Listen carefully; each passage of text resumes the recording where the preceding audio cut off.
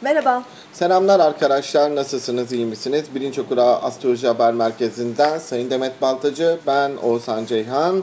Evet, yılın zorlayıcı, biraz yorucu dönemlerinden sizlere bahsetmek için buradayız. Biraz sevimsiz aslında Ama- bazı günler var ama Uyarın niteliğinde e, görev olarak da bahsetmek gerekiyor. ben şu yılbaşından bahsedelim diyorum. evet. Yılbaşı çünkü biraz neşe kaçırıcı bir yılbaşı. 30 Aralık'ta Güneş Kara Uranüs'e geçiyor ki 29 Aralık'tan itibaren değil bu 25 Aralık'tan itibaren başlayan bir Mars karşıt Uranüs yükleme, Evet, Uranüs transitiyle evet. beraber tezahürler başlayacak 8 derece terazi koçta. 29 Aralık'ta bu yılbaşı döneminde Merkür Kara Uranüs, 30 Aralık'ta Güneş Kara Uranüs ve ne, ne yazık ki ne yazık ki 1 Ocak'ta. 31 Ocak 31 Aralık 1 Ocak'ta da Güneş kavuşum Plüton. Benim diyebileceğim Mars kare Plüton'da var. Yani tek kare var. arkasından da Mars kare Plüton. Tek kare var gökyüzünde öncü gruplarda. Şimdi yılbaşı zamanları insanların biraz daha kendini kontrol etmekte zorlandığı zamanlar. Çünkü eğlenmek istiyorlar. E, dolayısıyla daha fazla dışarıda zaman geçiriyorlar. Daha Evet. fazla seyahatler oluyor. Alkol tüketimi artıyor. E, böyle zorlu açılarda da riskler artıyor. Alkola, Evet. alkole dikkat. Gece çıkarken arkadaşlarınızla eğlenirken bunlara dikkat etmemiz gerekiyor. Kalabalık ortamlarda olabilecek olaylara, yangınlara, çatışmalara, insanların anlık alkollüyken kavgalarına. Çünkü Mars kare Uranüs kavga açısıdır, Kavga- gerilim kaza açısıdır, açısı. kaza açısıdır. Doğum haritalarında Mars kare Uranüs oranların çok zarar görebileceği bir döngüdür. Yaralanmalara çok dikkat etmeleri lazım. Ee, mesela 30 Zunda başlayacak, 30 Aralık'ta başlayıp ayın aslında ikisine kadar devam edecek olan çok baskın bu dönemde eşler arasında çok ciddi kıskançlıklar, tartışmalar, ciddi e, yemek, gıda, Ee, ve alkol, Evet. bunlardan kaynaklanabilen kalp krizleri, Evet. tansiyonda çok ciddi yükselme, buna benzer sorunlar ve sıkıntıların da olabileceği görünmekte. Yıl içinde çok zorlu dönemler var. Evet, yılbaşı, yıla böyle başlıyoruz ama dönem dönem gerçekten zorlayıcı zamanlar var. Özellikle öncü grupların zamanları. Ee, Ocak başı, Nisan, Temmuz, Ekim e, daha fazla dikkat edilmesi gereken zamanlar. Şimdi şunu da unutmamak gerekiyor ki e, arkadaşlar bu yıl gerçekten e, gökyüzü bazılarımız için olumlu ama bazılarımız için de çok olumsuz. Olumlu elimizde 6 tane dönem varken olumsuz 20 25 tane dönem var. Evet. Yani Evet. neredeyse 5'e 1 oranında olumsuz olayların daha yoğun olduğu döngüler var. Kısaca Çünkü- bahsedelim günlerden. Tabii kısaca bahsedelim. Ee, bir de vereceğimiz tarihlerde doğan Evet, kişilerin evet. daha da dikkatli Evet, olması lazım. Mesela 30 Aralık, 31 Aralık, 1 Ocak'ta doğan kişiler bir yıl boyunca bazen sağlık sorunları ve sıkıntılarla karşılaşacak. Mesela 11 Şubat, Evet ve yakınlarında doğanlar.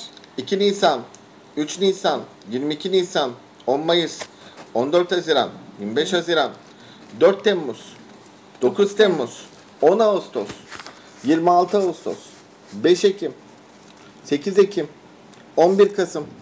Diğerleri sende. Ee, Aralık ayında o kadar zorlayıcı 13 şeyler Kasım yok. var. Evet 13 19 Kasım, 15 Aralık. Evet. Bugünlerde doğanlar özellikle ve yakınlarında doğanlar e, bu yıl daha e, zor etkiler altında olabilirler. Doğum haritalarında yardımcı açıları yoksa, doğum Evet. haritalarında ana gezegenlerde retro varsa hayatlarında daha spesifik zor şeyler yaşayacaklar. Ben size birkaç tane bu 26 günün her birini tek tek açıklama şansımız yok. Ee, Bir iki tanesiyle ilgili Evet. örnek vereyim. Yılın en şanssız ve en talihsiz günü Güneş kare Satürn 11 Şubat. Zorlu bir dönem. Ee, sorumluluklarımız çok artacak. 10 Mayıs Güneş karşı Satürn. Gerçekten çok zorlu, çok yorucu. Yani 10 Mayıs'ta Jüpiter'in de bir desteği olduğu için bazıları doğum haritalarında Jüpiter'i olumlu Evet. pozisyonda Evet. olanlar evlilik, aşkla ilgili e, olumlu e, etkilerle de karşılaşabilirler. 25 Haziran dikkat, kaza, çatışma, bombalı patlama, uçak kazaları, 4 gün önce ve 4 gün sonrası Mars karşı Uranüs, beklenmedik olaylar. 9 Temmuz Güneş kara Uranüs, dikkat, temkin, kaza, çatışma, güneş çarpması, kalp krizleri. Bunlarla ilgili problemlerin gittikçe artması. Yılın en şanssız ve talihsiz dönemlerinden biri Güneş kare Satürn 10 Ağustos. Burada gene bir sıkıntımız var. Gerçeği Evet, söylemek evet. gerekirse. 5 Ekim Güneş Kare Plüton. Kendimizden daha güçlü kişiler ve e, olgularla karşılaşma. Kriminal olaylara karşı dikkat. 8 Ekim Güneş karşı Turanüs. Evliliklerde ani ayrılma, ani boşanma, terazi koç, daha temkin, güneş tutulması ile birleşiktir. Bu Evet. sebepten dolayı çok güçlüdür. Lütfen 8 Ekim civarına çok dikkat edin. 11 Kasım Mars kavuşum Plüton ölüler haftası dediğimiz döneme girer. Kronik kişiliklerde sağlık sorunları ölümcül olaylara sebebiyet verir. 11 Kasım 19 Kasım arası zaten hafta olarak yılın zor dönemlerinden biri. 13 Kasım Mars kare Uranüs patlama, tartışma, çatışma, insan ilişkileri, ani ve beklenmedik haberler, 19 Kasım. Yılın zorlu günlerinden biri. Güneş kavuşum Satürn. Bunlar gerçekten arkadaşlar bu dönemlere yakın doğanlar. Veya işte mesela bir örnek vereyim. 11 Şubat'ta Güneş kare Satürn. 23 derece Kova burcu civarında yükselen burcu oranlar onları gerçekten ciddi etkileyecek bir gezegen döngüsü var. Mesela bir örnek daha vereyim işte 10 Mayıs Güneş karşı Satürn.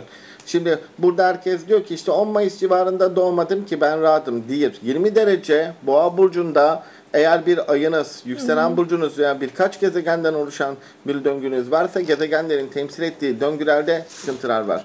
Bu arada da Büyük Uranüs kare Plüton dediğimiz döngü 2015 Nisan'a kadar devam edecek. Arkadaşlar Zor gezegen döngülerinde kurtulabilmemizin iki tane yöntemi var. Tüm gezegen döngüleri bilişsel anlamda e, eş zamanlı olarak hayatımızda nerede hata yaptığımızı, nerede yanlışlar yaptığımızı ve bu yanlışları nasıl çözmemiz gerektiğini gösteren ipuçları tezahür ettirir. Bu tezahürleri dikkatli takip edin. Egonuzu biraz ayak altına alın, önce sen diyebilin. Ancak bu gezegen döngülerinden böyle kurtulursunuz. Yoksa ne diyeyim size, ee, bu gezegen bazı gezegen döngüleri o kadar ağırdır ki bazı çalışmalar işte mantra çalışmaları vardır biliyorsunuz Tibet sisteminde belli çalışmalar, belli vibrasyon azaltıcı çalışmalar. Bu çalışmalar belli gezegenler, belli döngüler için yapılır ama bunların hiçbiri çözüm değildir. Hızla gelen treni yavaşlatabilirsin. Altında kalmamaya bak. Saygılar. Hoşçakalın. Güle güle.